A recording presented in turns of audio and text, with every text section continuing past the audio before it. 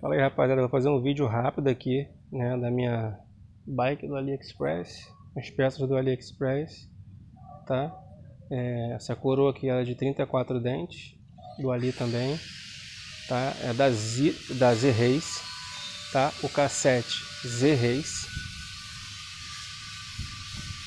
O câmbio da, se eu não, se eu não me engano, soletrando se chama Lito, né? É L L-E-T-W-O-O.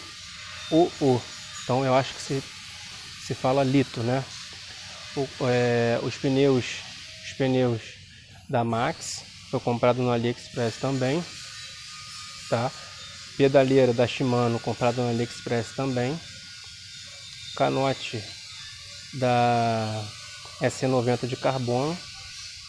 Banco selim SC90 de carbono, tá? Deixa eu dar uma SC90 de carbono. Aí vamos pro cockpit aqui. Mesa SC90 de carbono.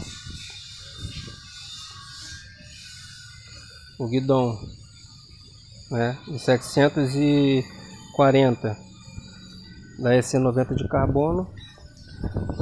O freio é um freio da Shimano de entrada MT200, tá? Câmbio de 10 velocidades, tá?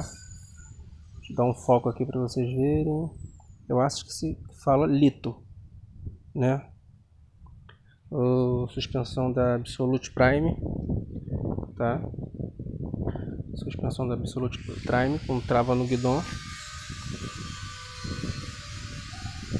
Tá? O quadro é da KSW XLT, né? Os pneus são os dois da Max que eu já falei. Comprei esse punho também de silicone da Zito. Ah. Zito. E é isso. É, essas peças foram compradas tudo no AliExpress. Todo do AliExpress.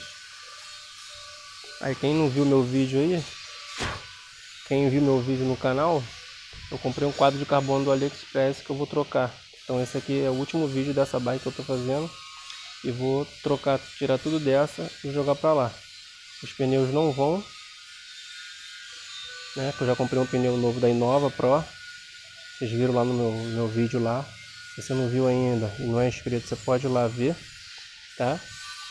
É, o quadro de carbono também que eu comprei. Então todas essas peças aqui, acessórios, vão ser passados para o quadro de carbono.